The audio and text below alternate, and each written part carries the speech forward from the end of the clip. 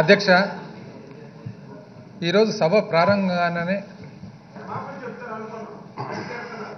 సభ్యులందరూ కూడా చాలా కన్సర్న్ ఎక్స్ప్రెస్ చేస్తున్నారు అధ్యక్ష. డిస్ప్లే చేసిన తర్వాత ఎవరు ఎవరికి సమాధానం క్షమాపణ చెప్పాలంటే చెప్పిస్తాను అది చెప్పిస్తాను. డిస్ప్లే చేసిన తర్వాత. కూర్చోండి కూర్చోండి కూర్చోండి.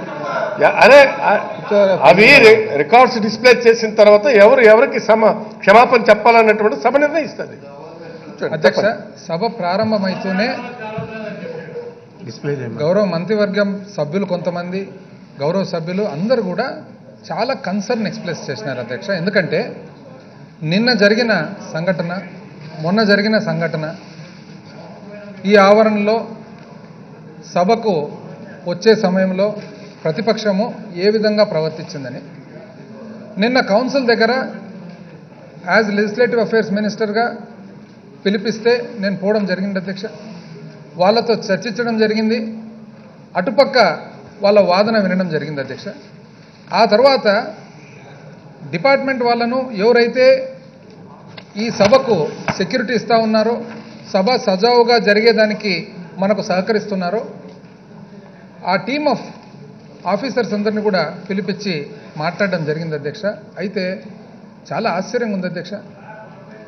అసలు నిన్న జరిగిన దానికి ఈరోజు పొద్దున బయట ప్రజలందరికీ కూడా ఏ విధంగా ప్రతిపక్షము సంకేతం పంపించుకున్నారని చూస్తే ఎంత ఆశ్చర్యంగా ఉందంటే వ్యత్యాసం అధ్యక్ష. నార్త్ పోల్ సౌత్ పోల్కి ఎంత డిఫరెన్స్ ఉందంటే అంత డిఫరెన్స్ అధ్యక్ష. వాళ్ళు ఏమంటున్నారంటే మేము వస్తూ ఉంటే ప్రతిపక్షం ఏమన్నారు అధ్యక్ష? మేము వస్తూ ఉంటే మేము వచ్చేదానికి సహకరించలేదు ఎంటర్ అయ్యేదానికి ఆవరణలోకి వచ్చేదానికి అడ్డగిచ్చినారని. వాస్తవానికి అక్కడ జరిగినది ఏమంటే అధ్యక్ష విచారించిన తర్వాత తెలిసిండేది. మామూలుగా ప్రతిరోజు కూడా ఏ సభ్యులు వచ్చినా కూడా వెహికల్లో లోపల వస్తున్నారు డ్రాప్ అవుతున్నారు. ఇక్కడ ఈ పార్కింగ్ లేదు కాబట్టి ఈ ఆవరణ ఈ డిజైన్ కూడా ఎవరు అధ్యక్ష? వాళ్ళే చేసిండేది. ఎంత బ్యూటిఫుల్గా డిజైన్ చేశారంటే అధ్యక్ష ఇంటర్నేషనల్ డిజైన్ ఒక కిటికీ కూడా లేదు అధ్యక్ష మొత్తం ఎక్కడన్నా లేదు. ప్రతి ఒక్కరు లంగ్ ప్రాబ్లంతో ఉన్నారు ఈరోజు ఇక్కడ ఎంప్లాయీస్ అంతా. అది కూడా వాళ్ళ వాళ్ళనే లంగ్ టెస్టింగ్ అధ్యక్ష ఊపిరితిత్తుల టెస్టింగ్. ఎందుకంటే కిటికీ లేకుండా కట్టినారనమాట వాళ్ళు ఇంటర్నేషనల్ డిజైన్. చిన్న ఆవరణ కాబట్టి లోపల పార్కింగ్ లేదు కాబట్టి ప్రతి మెంబర్ డ్రాప్ అవుతున్నారు. డ్రాప్ అయిన తర్వాత వెహికల్ బయటికి పంపిస్తున్నారు అధ్యక్ష. నేను మిగతా పార్టీల వాళ్ళని కూడా అడిగినాను అధ్యక్ష ఇక్కడ కౌన్సిల్లో? వివిధ పార్టీల నుంచి ఉన్నారు కాబట్టి. బీజేపీ వాళ్ళు కానీ సిపిఐ కానీ ఇతర మన ఉపా ఉపాధ్యాయుల సంఘాలకు సంబంధించిన పార్టీ గౌరవ సభ్యులు కానీ అందరూ డ్రాప్ అవుతున్నారు పంపిస్తున్నారు అధ్యక్ష. ఒకటే ఒక చోట చెకింగ్ చేస్తున్నారు. ఎక్కడ చేస్తున్నారు? వెహికల్ లోపలికి వచ్చేటప్పుడు కింద బాంబ్ స్క్వాడ్ వాళ్ళు చెకింగ్ చేస్తున్నారు అధ్యక్ష. డ్రాప్ అవుతున్నారు పంపిస్తున్నారు. నిన్న ఎందుకు గేట్స్ వేయాల్సి వచ్చి లిమిటెడ్ యాక్సెస్ పెట్టినారంటే ఇంతకుముందు మన గౌరవ మంత్రివర్యులు కొడాల నాని గారు చెప్పినట్లుగా వాస్తవానికి ప్రతిపక్ష నాయకులు ఇక్కడ వచ్చేదానికి తనకు కంప్లీట్ తన వెహికల్స్ తన కన్వాయ్ తన ఎస్కాటు తన special security Z category security అందరూ కూడా లోపల వస్తున్నారు అధ్యక్ష. బయట కూడా ఉంటారు బ్లాక్ కార్డ్ కమాండర్స్ తన సెక్యూరిటీ కోసం. ఓకే. సో ఎటువంటి ఇబ్బంది లేదు. సభ్యులు వచ్చేదానికి ఇబ్బంది లేదు. నిన్న ఎందుకు యాక్సెస్ కంట్రోల్ చేసినారంటే వీళ్ళందరూ బయట దిగి ఒక ప్రొసెషన్ మాదిరిగా అధ్యక్ష ఒక హర్తాలు ధర్నా టైప్లో ప్రొసెషన్ మాదిరిగా వస్తూ ఉంటే దాంట్లో ఎవరు? ఎందుకంటే పెద్ద లార్జ్ నంబర్ పెద్ద సంఖ్యలో వస్తున్నారు కాబట్టి ఆటోమేటిక్గా సెక్యూరిటీ వలన ఎవరు సభ్యులు ఎవరు సభ్యులు కాదు ఎవరు పార్టీ కార్యకర్తలు అని చెప్పి ఎవరు ఇతర మనుషులు అని చెప్పి యాక్సెస్ కోసము లిమిటెడ్ యాక్సెస్ పెట్టి ఒక్కొక్కరిని గుర్తుపట్టి లోపలికి తీసుకుంటున్నారు అధ్యక్ష. దానికి విచ్చలవిడిగా అల్లరి చేసి అసలు మ్యాన్ హ్యాండిల్ చేసి దుర్భాషలాడి ఆ దుర్భాష కూడా అధ్యక్ష ఒక్కసారి మనం వీడియో క్లిప్స్ చూసినట్లయితే ఆశ్చర్యంగా ఉంటుంది అధ్యక్ష. ఇంత గొప్ప స్థాయికి వచ్చిన తర్వాత మనం ఇంత గొప్ప పదవికి వచ్చిన తర్వాత ఇంత బాధ్యత గల పోస్టులో ఉన్న తర్వాత ఈ విధంగా నా ప్రవర్తించేది. ఎవరి మీద ప్రవర్తిస్తుండేది? Marshals and staff. వాళ్ళు ఎందుకు అధ్యక్ష ఉంటుండేది వాళ్ళు? ఎవరి కోసం ఉన్నారు? మార్షల్ స్టాఫ్ ఎవరి కోసము ఎవరి కోసం అధ్యక్ష ఉండేది వాళ్ళు? వాళ్ళు.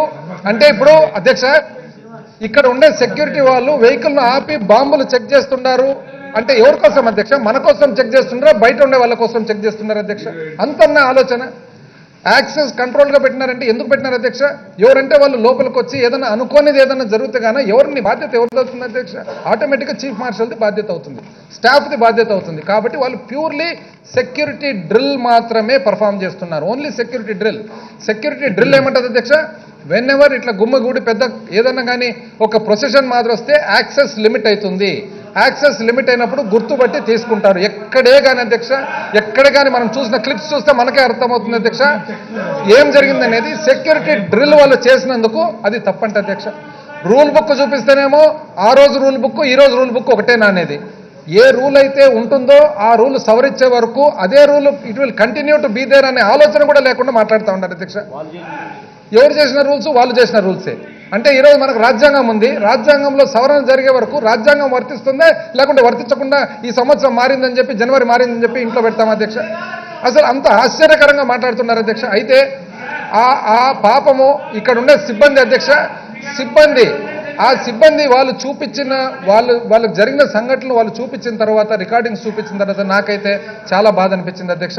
యాజ్ లెజిస్లేటివ్ అఫేర్స్ మినిస్టర్ నాకు మాత్రము as legislative minister in this government నాకు మాత్రం చాలా బాధ అనిపించింది ఒక బాధ్యతగా ఖచ్చితంగా. ఎందుకంటే ఇది ఈ విధంగా లాలెస్నెస్ కంటిన్యూ అయిపోయి ఎవరి ఇష్ట ప్రకారం వాళ్ళు వచ్చి ఎవరి ఇష్ట ప్రకారం వాళ్ళు దుర్భాషలాడి ఎవరి ఇష్ట ప్రకారం వాళ్ళు తోసుకొని ఎవరి ఇష్ట ప్రకారం వాళ్ళు యాక్సెస్ కావాలని చెప్పి ఈ విధంగా చేసినట్లయితే రేపు పొద్దున పనిచేసే వాళ్ళకి చాలా ఇబ్బంది అవుతుంది. అల్టిమేట్గా నష్టం జరిగేది మనకు అధ్యక్ష.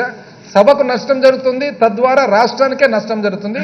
కాబట్టి దయచేసి అధ్యక్ష ఒక్కసారి మీరు మీరు మీ పర్మిషన్తో ఒకసారి మీరు ఆ వీడియో క్లిప్స్ ప్లే చేస్తే మనకే అర్థమవుతుంది అధ్యక్ష. యాక్చువల్గా జరిగినదేమని.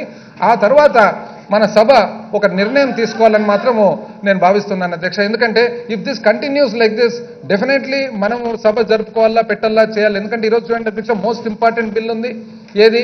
మొన్న ఆ అమ్మాయి దిశ జరిగిన రేప్ అండ్ మర్డర్ తర్వాత దాని మీద ఆంధ్రప్రదేశ్ ప్రభుత్వం ఒక సపరేట్ చట్టము సత్వరగా as quickly as possible and to the highest extent penalty వేయాలి.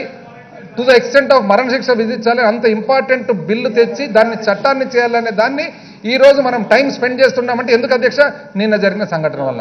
కాబట్టి దయచేసి అధ్యక్ష దీనికి అట్మోస్ట్ ఇంపార్టెన్స్ ఇచ్చి చూసి తగిన చర్య మీరు చేసుకోవాలని చెప్పి నేను మిమ్మల్ని వేడుకుంటున్నాను.